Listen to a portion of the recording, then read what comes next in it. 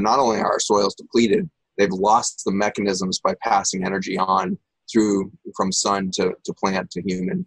And so this is why I believe we look like we do as a society right now, where you know recent Medicaid uh, screenings are showing 52% of our children with a chronic disorder or disease by the time they're 16. That's compared to 1.2% in the 1960s, right before we debuted these chemicals. Wait, wait, wait! You just said one in two kids are having chronic disease.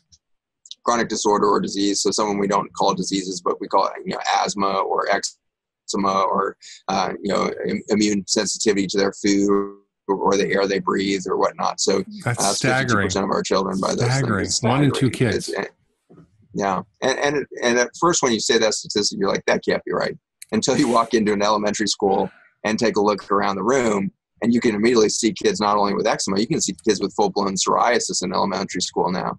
Uh, and so the amount of gut, you know, disruption that you need to, to develop an autoimmune condition, you know, near psoriasis is devastating. So and then you see this you know, explosion of leukemias, lymphomas, and weird sarcomas in children that used to appear in 80 year olds are showing up in children under the age of two now. And so we're, we're showing this just decimation of, of biologic youth or you know uh, regenerative capacity within human biology in this most recent generation. The scary thing is right now we're looking at generation number two of Roundup babies.